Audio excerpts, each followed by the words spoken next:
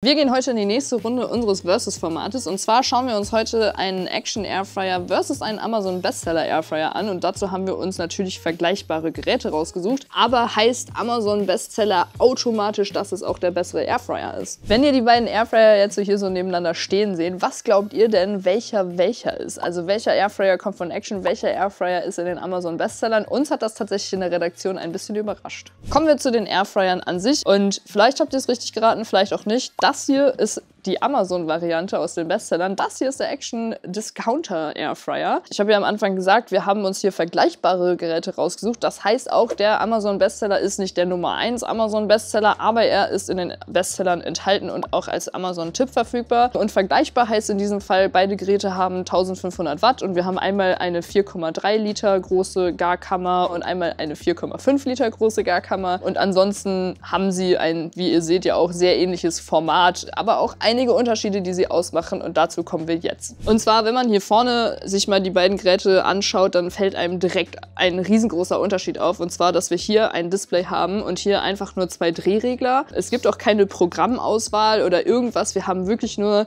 die Möglichkeit, die Uhrzeit und die Temperatur einzustellen, während wir hier bei dem Gerät, wenn ich es jetzt einmal anschalte, ha, sogar den Knopf getroffen, sieht man direkt, dass es hier viel mehr Auswahlmöglichkeiten gibt und ähm, ja, eben das Display zum Einstellen der Sachen. Und dann haben wir hier unten eben die beiden Garkörbe und da ähm, kommen wir vielleicht schon mal zu dem ersten Punkt, wo ich sagen würde, das ist ein Negativpunkt für einen Airfryer. Wir haben einen ganz klassischen normalen Garkorb, wie man es auch von anderen Airfryern kennt. Und hier haben wir einen Garkorb mit einem innenliegenden Extrakorb.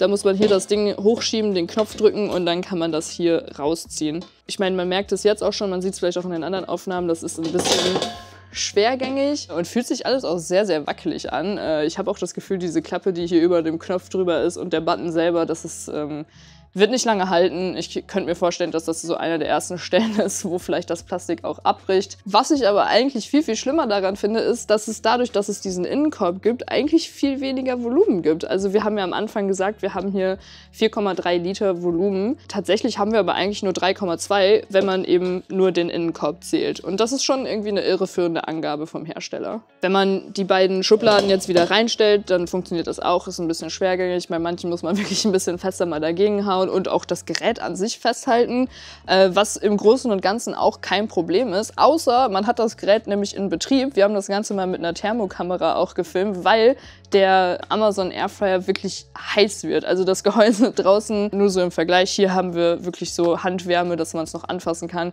Hier war es teilweise so heiß, dass man wirklich nicht die Hand dran lassen konnte. Da muss man also auf jeden Fall aufpassen. Das absolute Highlight für mich aber, und äh, ich weiß nicht, ob, sich, ob ich das als einzige Person so sehe oder nicht, aber diese Drehregler, die hier an dem Amazon Airfryer angebracht sind, das sind halt in meinen Augen keine wirklichen Drehregler. Wenn man es genau nehmen möchte, haben wir hier tatsächlich einfach eine Eieruhr, die hier im äh, Airfryer drin steckt. Wenn wir das Ganze drehen, dann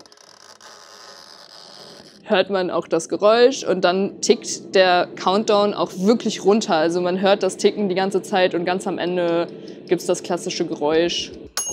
So, und dann ist der Airfryer fertig. Das wirkt zum einen extrem billig, so im Vergleich jetzt zum Beispiel auch mit den Xiaomi Airfryern, die ja auch einen Drehregler haben. Da ist aber auch noch ein kleines Display mit drin, das fühlt sich einfach richtig hochwertig an. Das hier ist wirklich einfach eine Eieruhr. Und am witzigsten finde ich, wenn wir den Stecker ziehen, können wir sie trotzdem noch benutzen. Also sie lässt sich immer noch aufziehen und sie tickt auch weiter runter. Vielleicht ein 2 in 1 Gadget für die Küche, ich weiß es nicht. Schreibt mal gerne in die Kommentare, wie ihr das findet. Und nicht nur, dass die Eieruhr an sich einfach schon irgendwie seltsam wirkt, finde ich, vor allen Dingen, wenn wir auch den Preis ein bisschen im Hinterkopf behalten. Wir reden hier immer noch von 50 Euro für einen Airfryer. Es lässt sich auch einfach sehr ungenau einstellen. Also wir haben hier diese Striche, die einem zwar die Uhrzeiten und Minuten anzeigen, aber so wirklich sauber auf eine ganz genaue Uhrzeit einstellen kann man es nicht.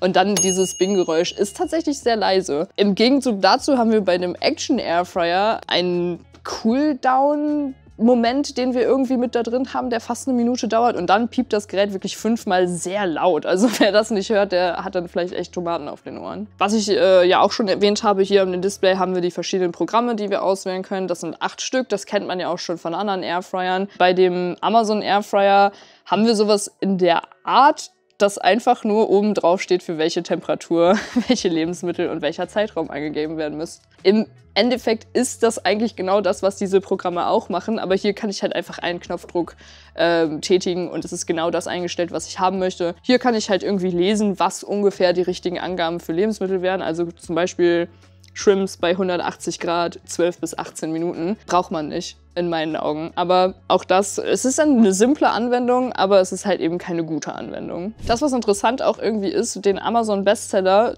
ich muss es nur noch mal sagen, es ist wirklich dieses Gerät hier. Ich selber verwechsel das auch die ganze Zeit. Mein Kopf will mir irgendwie sagen, dass das hier Action sein muss und das hier Amazon, aber es ist genau das Gegenteil. Warum ich so verwundert darüber bin, wie dieses Gerät im Endeffekt hier ist, weil es ist in den Amazon Bestsellern, es ist ein Amazon-Tipp, es hat irgendwie über 31.000 Bewertungen und über 4,5 Sterne und ich verstehe nicht wieso. Also klar, der Airfryer erledigt seinen Job, wir kriegen irgendwie knuspriges Essen am Ende raus, aber für diesen Preis und mittlerweile ist er sogar gestiegen, ich glaube wir liegen jetzt bei 68 Euro irgendwas, bekommt man einfach Besseres und das sehen wir hier eben bei dem Action Airfryer. Wenn wir jetzt rein einfach vergleichen von der Bedienung, von dem wie es rauskommt, wie es sich auch anfühlt das Gerät, dann würde ich immer eher zu dem Action Airfryer greifen als jetzt zu diesem Amazon Bestseller. Es zeigt irgendwie mal wieder Amazon Bestseller, Amazon Tipp und auch super viele gute Bewertungen heißen nicht automatisch, dass das auch das beste Gerät ist, was ihr für das Geld bekommen könnt. Da heißt es halt immer schauen, vergleichen und gucken oder ihr folgt halt einfach uns. Wir haben auch schon andere Airfryer getestet, die könnt ihr euch hier noch anschauen. Zum Beispiel die Secotech Airfryer in allen möglichen unterschiedlichen Varianten. Die gibt es immer wieder mal im Angebot, auch für unter 40 Euro. Die bieten einfach das gleiche, wenn nicht sogar besseres als diese hier. Schaut euch die gerne an, wir verlinken die auch dann nochmal in der Box für euch. Und ansonsten lasst uns gerne ein Abo und ein Like da. Wir freuen uns darüber und dann hoffentlich bis zum nächsten Mal.